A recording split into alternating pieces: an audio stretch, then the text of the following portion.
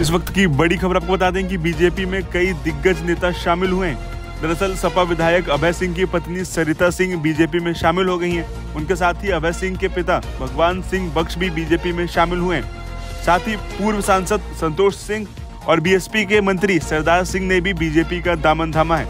इस वक्त की बड़ी खबर आपको बता रहे हैं कि बीजेपी में कई दिग्गज नेता शामिल हुए हैं। सपा विधायक अभय सिंह की पत्नी सरिता सिंह, उनके पिता भगवान सिंह बख्श बीजेपी में शामिल हो गए हैं। उनके साथ ही पूर्व सांसद संतोष सिंह और बीएसपी के मंत्री सरदार सिंह ने बीजेपी का दामन थामा है। इस वक्त की बड़ी खबर आपको बता दें कि बीजेपी में कई दिग्गज नेता शामिल हुए हैं।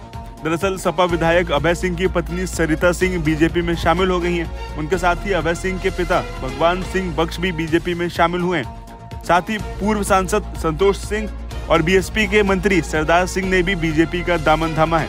इस वक्त की बड़ी खबर आपको बता रहे हैं कि बीजेपी में कई दिग्गज नेता शामिल हुए हैं। सपा विधायक अभय सिंह की पत्नी सरिता सिंह, उनके पिता भगवान सिंह बख्श बीजेपी में शामिल हो गए हैं। उनके साथ ही पूर्व सांसद संतोष सिंह और बीएसपी के मंत्री सरदार सिंह ने बीजेपी का दामन थामा है।